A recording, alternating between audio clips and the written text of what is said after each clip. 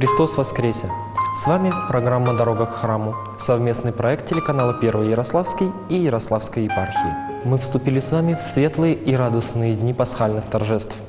Впереди несколько недель, в которые храм будет одет в красные цвета. Повсюду будет слышен тропарь «Христос воскресе из мертвых», и каждое богослужение будет особенным образом напоминать нам о Христе воскресшем. В эти дни в храмах читается книга «Деяния апостольских», написанная апостолом и евангелистом Лукой в продолжении евангельской истории. Такое ее положение в богослужебном календаре не случайно. Вся она о плодах воскресения Христова. И сегодняшний текст – маленькое описание ранней христианской общины, однозначное тому подтверждение. Руками же апостолов совершались в народе многие знамения и чудеса, и все единодушно пребывали в притворе Соломоновом. Из посторонних же никто не смел пристать к ним, а народ прославлял их. Верующих же более и более присоединялось к Господу множество мужчин и женщин, так что выносили больных на улицы и полагали на постелях и кроватях, дабы хотя тень проходящего Петра осенила кого из них. Сходились также в Иерусалим многие из окрестных городов, неся больных и нечистыми духами одержимых, которые исцелялись все. Первосвященник же и с ним все, принадлежащие к ереси Садукейской, исполнились зависти и наложили руки свои на апостолов и заключили их в народную темницу. Но ангел Господень ночью отворил двери темницы и, выведя их, сказал, «Идите, и, став в храме, говорите народу все сии слова жизни». Великое искушение назвать этот период в жизни церкви ее золотым веком. Действительно, невозможно не обратить внимание на ту силу апостольской проповеди и ту абсолютную простоту жизни, которую мы видим на новозаветных страницах. Многие попытались построить подобные так называемые церкви, руководствуясь чистой, хотя и наивной в самом плохом смысле этого слова верой. Подобные строители возвели по слову Христа дома на песке, не обратив внимания на то, с чем он обращается к своим собственным ученикам. «И я говорю тебе, ты Петр, и на всем камне я создам церковь мою, и врата ада не одолеют ее. И дам тебе ключи Царства Небесного, и что свяжешь на земле, то будет связано на небесах, и что разрешишь на земле, то будет разрешено на небесах». Апостольское основание – вот крепкое основание, крепкий краеугольный камень Церкви Христовой. Мысль Христа проста. Им, через Его прямых учеников, до последнего дня этого мира и далее продлив себя в вечности, будет существовать Его Церковь. И никакие внешние обстоятельства, политические режимы или сами адовые силы не сумеют что-либо сделать против нее. Эта церковь и поныне жива, единая святая соборная апостольская православная церковь которая ведет свой корабль вот уже две тысячи лет к пристани спасения. В действительности же церковь никогда не знала Золотого века здесь, на земле, будучи вся устремлена к встрече с Отцом Небесным. В христианской истории мы видим много сложных, проблемных и откровенно кризисных моментов, не исключая и историю новозаветную. При этом ряд из них происходил не от внешних врагов, но от внутренних нестроений – и это естественно, так как церковь – богочеловеческий организм.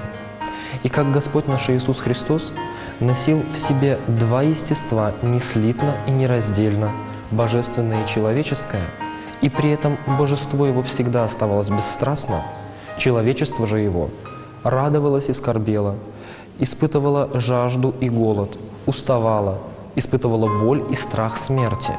Так же и церковь.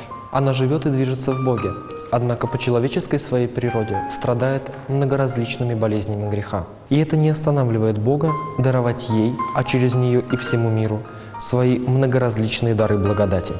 Они по-разному приходят в этот мир. Какие-то прикровенно, через обычных христиан, мирян или священников, которые своей молитвой и своими делами милосердия творят волю Божию в мире, так и прорываются в него через великих светильников веры, святых, которыми полна церковь до сего дня. И сейчас в ней, по слову апостола Луки, продолжают совершаться многие знамения и чудеса.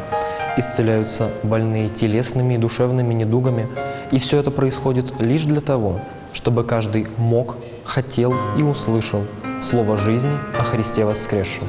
Христос воскресе! Сегодня мы находимся с вами в Толкском женском монастыре – Он известен всей России не только благодаря древнему толкскому чудотворному образу Пресвятой Богородицы, но и многим иным святыням и реликвиям, находящимся в его стенах. Наш рассказ о святителе Игнатии Бринчанинове, епископе Кавказском, мощи которого почивают в крестовоздвиженском храме обители. 30 апреля по старому стилю и 13 мая по новому празднуется 150-летие со дня представления святителя, последние годы жизни которого связаны с Ярославской землей. Святитель Игнатий, в миру Дмитрий Александрович Бринчанинов, родился 6 февраля 1807 года в родовом родительском имении селе Покровском Вологодской губернии. Детство мальчик провел в уединенной сельской жизни. С течением времени стали заметны его духовные настроения – Особенное время он уделял чтению молитвы духовной литературы. Учился Дмитрий превосходно.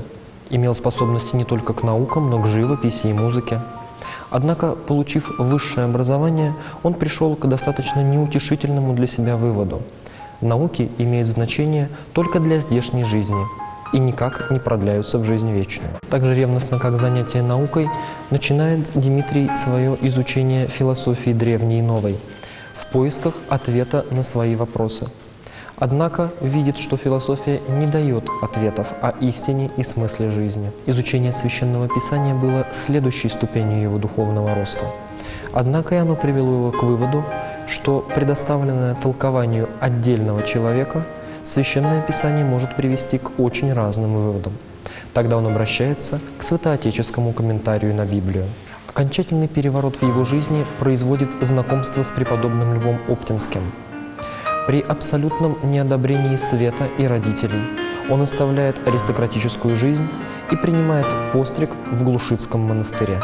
С 1832 по 1857 год будущий святитель настоятельствует в разных монастырях северных пределов нашего Отечества – после чего призывается 27 октября 1857 года на епископское служение на Кавказскую Черноморскую кафедру в Ставрополь. Постигшая его тяжелая болезнь, оспа, воспрепятствовала его епископским трудам. Преосвященный решил проситься на покой и в 1871 году поселился в Николо-Бабаевском монастыре. Здесь, свободный от служебных обязанностей, все время свое до конца жизни, до 1867 года, он отдал работе над духовными сочинениями. Именно этот период в полноте и раскрыл перед множеством читателей ту сокровенную драгоценную жемчужину, которую обрел святитель в тайниках своего сердца. Его литературное наследие по праву входит в сокровищницу православной аскетической литературы. При жизни святитель был нечастым гостем Толкской обители, на тот момент мужского монастыря. Однако Господом было уготовано обрести ему здесь свой покой уже после прославления, которое состоялось в 1988 году. Вот воспоминания архимандрита Бориса Долженко, участвовавшего в обретении мощей святителя Игнатия. В 1988 году состоялось прославление святителя Игнатия и было решено поднять его мощи.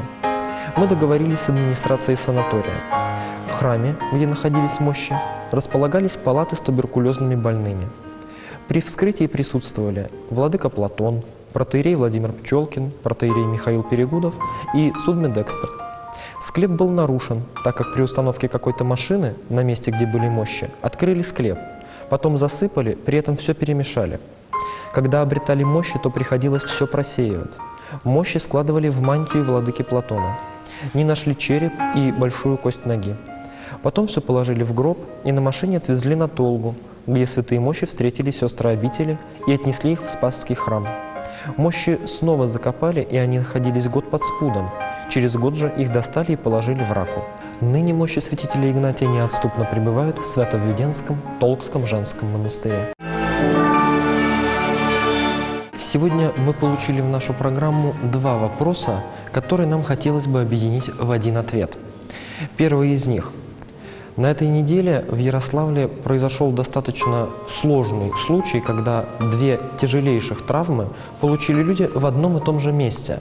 Соответственно, не связано ли это как-то с самим местом? С другой стороны, нас спрашивали о том, не влияет ли конкретный день рождения человека на его дальнейшую жизнь. На самом деле это абсолютно однотипные вопросы. Нам объективно важно понимать, что человеческая жизнь не обуславливается какими-либо подобными внешними факторами. Нет чистых или нечистых мест. Нет хорошего или плохого времени. Человек строит свою жизнь либо согласуясь с волей Божьей, либо противореча ей, либо в принципе не задавая себе подобных вопросов и действуя как э, человек слепой, который куда-то движется, но не осознает в какую из сторон. Но в любом случае это не будет связано с силой какой-то географической точки или какого-то числа. Свои вопросы вы можете присылать нам по электронному адресу, который вы видите на экране. С вами была программа «Дорога к храму» – совместный проект телеканала «Первый Ярославский» и Ярославской епархии. Вы можете видеть нас каждое воскресенье в 11 часов утра и в 18 часов вечера. Мы прощаемся с вами до следующих выходных. Благословение Божие да пребывает со всеми вами.